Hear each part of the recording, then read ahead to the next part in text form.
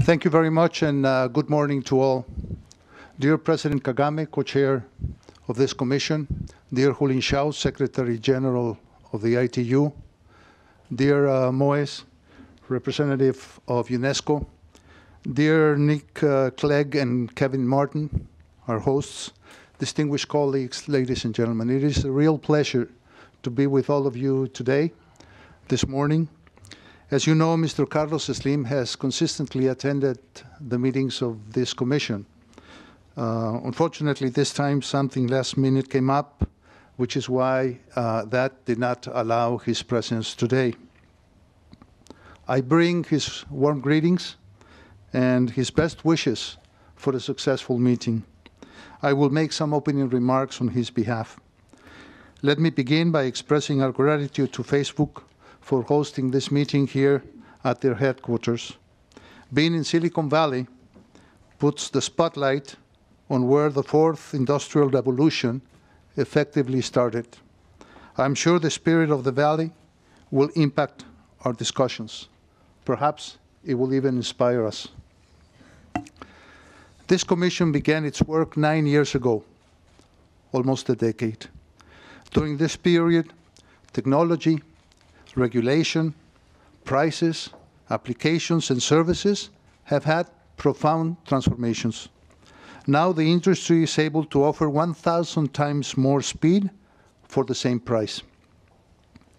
Technology has evolved from low-speed internet and mobile voice and messages only to emails, applications, e-commerce, social networks, video, and high-speed broadband. For each service, prices have drastically declined. Penetration and coverage have increased, although much contrast exists among regions. ITU has indicated that only 15% of households in least developed countries have internet access at home, compared to 85% in developed nations. Innovation and significant investments have occurred. When looking at specific policies and results by regions, it is clear the advantage of having a proper regulation. As the New Deal expert group noted, regulators should simplify and modernize their regulatory frameworks in a manner that encourages innovation, generates investment, and benefits consumers.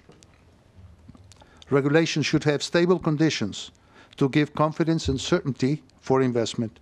It should not penalize size, but abuse of dominant positions and should promote competition. This is key, competition. A call has also been made for appropriate taxes and spectrum charges. What is necessary is a strategy, a smart strategy for public sector revenue. Taxes should not disincentivize industry investments or impact low-income consumers by targeting ICT equipment. Regarding infrastructure, when a network is built, it allows connectivity for all. Regulation should maximize the opportunity of convergence, allowing all types of services over any network. Infrastructure sharing should also be a priority via adequate agreements. It reduces investment needs and allows lower prices, stimulating usage. This is particularly relevant as we discuss the infrastructure moonshot for Africa. Digital literacy is extremely important. Relevant content development is also an essential component for inclusion. And national broadband plans, as promoted by the Commission, with comprehensive digital agendas, have had a positive impact. In my opinion, we need to move forward and persist in all these aspects. We need to benefit from the best practices in the sector and from the experiences of the first nine years of this Commission. And what about the future? We are living in an era of good technological fortune. Every year we have new networks, devices, and applications that have more capabilities, are faster, and with smaller latency at transmission. The arrival of 5G opens tremendous additional opportunities to access high-definition content and to expand the use of artificial intelligence and the Internet of Things in all aspects of modern life in technological areas and in this commission, one is obliged to be forward-looking. 5G networks are arriving at a moment of profound digital transformation. This implies different challenges, to different entities. For us, as members of this Broadband Commission, the digital transformation implies, in my opinion, a twofold responsibility. First, it means working to improve the digital experience and benefits of those already online. The second track is to promote actions that will result in getting the other 3.7 billion people online, avoiding a new form of potential inequality.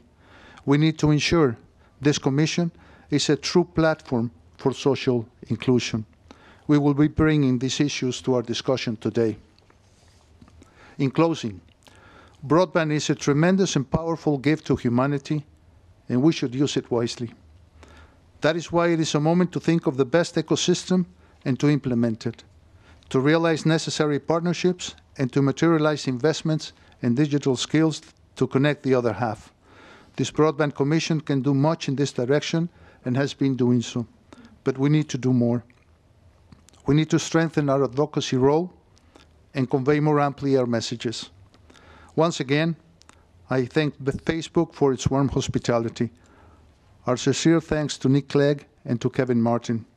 I wish a successful meeting for all of us as we move forward in issues that are crucial to shape the future of broadband in a way that it enhances the quality of life for everyone.